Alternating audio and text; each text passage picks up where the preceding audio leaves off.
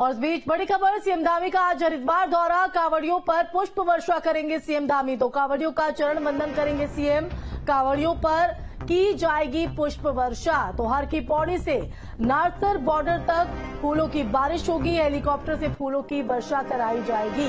तो ओम पुल पर भजन संध्या का भी आयोजन है। कार्यक्रम को लेकर प्रशासन की पूरी तैयारी है। तो आपको ये बड़ी खबर बता रहे हैं तो बता दें कि कांवड़ यात्रा अपने अंतिम पड़ाव पर है। ऐसे में जो पैदल कांवड़ यात्रा है, यात्री है, अब उनकी संख्या कम। जो डाक कांवड़ है, उनकी संख्या ज़्यादा देखी जा रही है, जिसको लेकर नया ट्रैफ़िक का रूट जो प्लान है, वो धरातल पर उतारा जा रहा है दूसरी तरफ़ आज मुख्यमंत्री धामी भी कावड़ियों के बीच होंगे। कावड़ियों पर पुष्प वर्षा उनकी तरफ़ से करवाई जाएगी। कावड़ियों का चरण बंधन करते हुए मुख्यमंत्री धामी यहाँ पर नज़र आएँगे। तो कावड़ियों पर पुष्प वर्षा जो हेलीकॉप्टर के ज़रिए की जाएगी तो हर की पौड़ी से नारसन बॉर्डर तक फूलों की बारिश होगी।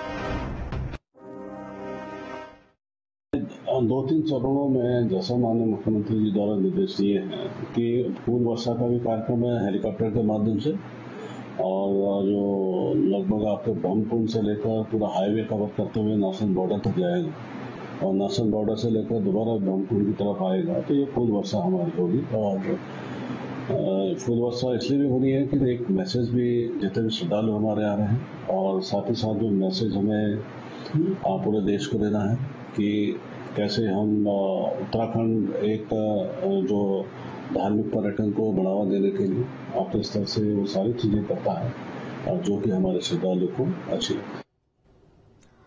और हरिद्वार से बड़ी खबर है, अंतिम पड़ाव पर पहुँचा कावड़ मेला, केसरिया रंग में रंगे धर्म नगरी के गंगा घाट। तो आठ दिन में एक करोड़ तिरासी लाख कावड़ियों ने भरा गंगा जल। सोमवार को बासठ लाख भक्तों ने भरा था जल। तो पैदल जाने वाले कावड़ियों की संख्या में कमी आई, इसी के साथ डाक कावड़ियों का अब सैलाब उमड़ते हुए। तो अपने अंतिम पड़ाव पर है कावड़ यात्रा। दो तारीख को जल है, उससे पहले हरिद्वार से जल लेकर अपने अपने गंतव्य की ओर तमाम जो कावड़ यात्री हैं वो बढ़ रहे हैं। इस बीच आपको बता दें कि केसरिया रंग में रंगे नज़र आ रही है धर्मनगरी के गंगा घाट। तो आठ दिन में एक करोड़ तिरासी लाख कावड़ियों ने गंगा जल भरा है। सोमवार को बासठ लाख भक्तों ने जल भरा है। तो देखिए, आंकड़े भी जो है वो सामने आ रहे हैं। पैदल जाने वाले कावड़ियों की संख्या में इसी के साथ कमी देखी जा रही है। तो डाक कावड़ियों का जन सैलाब, उमड़ते डाक कावड़ियों कावड़ियों का आवागमन जैसे स्टार्ट हुआ हम लोगों ने ट्रैफ़िक का डाइवर्जन शुरू कर दिया है। ताकि जो हाईवे में चलने वाले जितने यात्री हैं जिनको दिल्ली जाना है या जिनको देहरादून आना है उनको कोई असुविधा ना हो तो ये डाइवर्जन हमारा शुरू हो गया।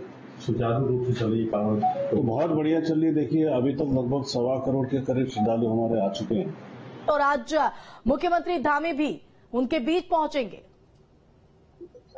यात्रा का ये अंतिम चरण है अंतिम चरण में चुनौतियों के साथ साथ हम देखने मिल रहा है कि भगवा रंग में एक तरह से पूरा हरिद्वार रंगा हुआ है। चाहे फिर हाईवे की हम लोग बात करें या फिर हर की पौड़ी की बात करें तो हर की पौड़ी के जो गंगा घाट है, पूरी तरह से इस समय भगवा में दिखाई दे रहे हैं। और साथ ही साथ अगर बात की जाए तो अब से थोड़ी देर बाद यहाँ पर मुख्यमंत्री पहुँचेंगे और वो कावड़ियों का यहाँ पर स्वागत करेंगे, चरण वंदन करेंगे। इसके अलावा हर की पौड़ी पर कावड़ियों के ऊपर कुछ स्वच्छता की जाएगी। तो ये एक तरह से स्वागत किया जा रहा है उन वक्तों का जो हरिद्वार आए हैं और हरिद्वार आकर गंगा जल लेकर अपने शिवालयों की ओर लौट रहे हैं। उनका स्वागत करने की ये सरकार की ये पहल है। इसके अलावा अगर बात की जाए, क्योंकि लगातार मुख्यमंत्री पुष्कर सिंह धामी जो कावड़ यात्रा की व्यवस्थाएँ हैं, उनका यहाँ पर लगातार निगरानी रखे हुए है, क्योंकि तमाम तरह की जो तैयारियाँ रही, उस पर लगातार नज़र मुख्यमंत्री बनाए रहे। और जिस तरह की व्यवस्थाएँ यहाँ पर हुई है, उसको लेकर खासी चिंतित यहाँ पर दिखाई दिए कि किस तरह से इस कावड़ मेले को संपन्न कराना है।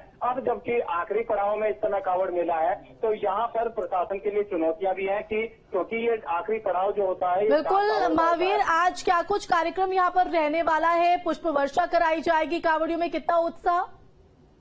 बिल्कुल जी, ज़ाहिर सी बात है, अगर किसी क्षेत्र में कोई भी यात्री जाता है तो वहाँ पर अगर खुद मुख्यमंत्री उन लोगों का स्वागत करते हैं तो ज़ाहिर सी बात है, उत्साह ज़रूर होता है। और ऐसा ही कुछ देखने में आया है कि जो शिव भक्त है, यहाँ पर इस खबर को लेकर खासे उत्साहित हैं कि स्वयं मुख्यमंत्री यहाँ आ रहे हैं और उनका स्वागत करने के लिए पहुँच रहे हैं। इसके अलावा जो पुष्प वर्षा यहाँ पर होनी है, उसको लेकर भी खासा उत्साह है। और इसके अलावा अगर कार्यक्रम की बात करें तो मुख्यमंत्री शाम को यहाँ पर अंतराग रघुवंशी का भजन संध्या कार्यक्रम होना है, गंगा घाट पर, वो उसमें भी शामिल होंगे। तो कह सकते हैं कि तमाम तरह से जिस तरह से व्यवस्थाएँ की गई हैं, उसके बाद आज स्वागत का कार्यक्रम है। तो उसको लेकर न केवल शासन प्रशासन उत्साहित है, बल्कि शिव भक्तों में भी उत्साह देखने को मिल रहा है। चलिए, बहुत शुक्रिया इस कार्यक्रम को लेकर नज़र बनाए रखिएगा महावीर, तमाम जानकारी देने के लिए। तो बता दें कि लक्सर की सड़कों पर भी कांवड़ियों का सैलाब देखा जा रहा है। तो ये बड़ी खबर आपको बता दें, जहाँ लक्सर